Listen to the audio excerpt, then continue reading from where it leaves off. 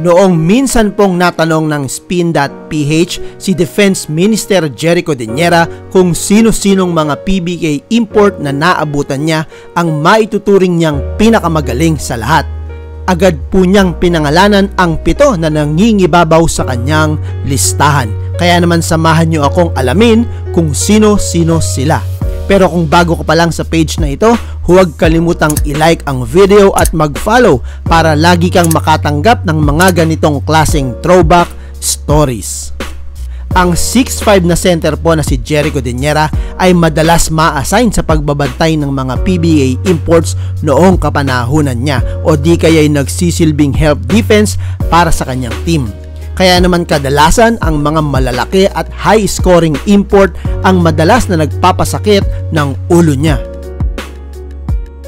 Una sa kanyang listahan ay ang 7-time PBA Import Awardee na si Bobby Parks. Ayon kay Coach Jerry, mabilis at maliksi ang galawan nitong si Parks. Isang tahimik na import at hinahayaang ang laro niya ang magsalita para sa kanya. Kaya naman nakailang beses po itong nagbalik-balik sa PBA, may tatlong kampyonato at kabilang pa nga sa PBA Hall of Fame noong taong 2009.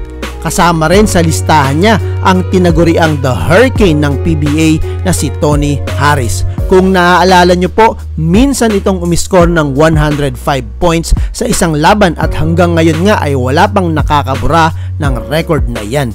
High flyer, pure scorer at very athletic. Kaya naman talagang hinahangaan at pinangingilagan ito ng isang Jerry Codinera. Mid-90s din po nang makabangga niya ang isa pang bigating import at dati ring best import awardee na si Ronnie Tompkins kaliwete, brusko at medyo mainitin ang ulo. At dahil nga sa mas matangkad at mas malaki ito sa kanya, ay talaga namang halos maubos ang kanyang foul para lang gamitin dito.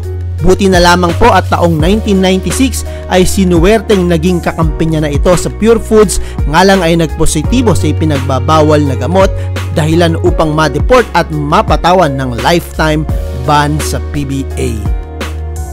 Aba, kabilang din po sa kanyang top imports sina Michael Hackett na una pong humawak ng 100 points record bago nga nabura ni Tony Harris. Isa ito sa mga mahuhusay na naging import ng Hinebra na nakatapat ni Jerry noong halos ay amateur pa lamang siya sa PBA.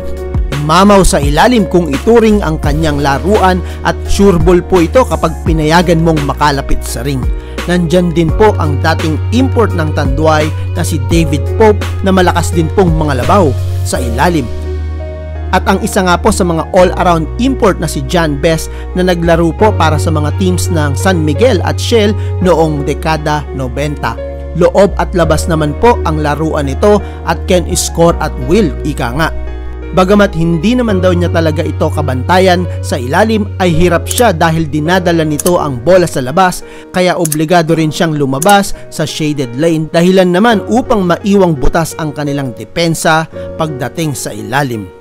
Panghuli naman po sa listahan niya ay isa ring dating Best Import Awardee at malahalimo din po na import ng Alaska na si Devin Davis kakailanganin ng double team tuwing ito ang matatapat sa iyo dahil nga sa bukod sa malaki ay marunong din itong gumamit ng katawan at uubod pa ng sipag. So sila po ang pitong imports na pinakamagagaling at pinakamahihirap kalaban para sa 1994 PBA Defensive Player of the Year na si Jerry Codinera. Kayo mga kabasketball, sino ang top 7 all-time best import nyo sa PBA? I-comment lamang sa baba ng video at atin naman itong pag-uusapan. Maraming salamat po sa inyong panonood at hanggang sa muli.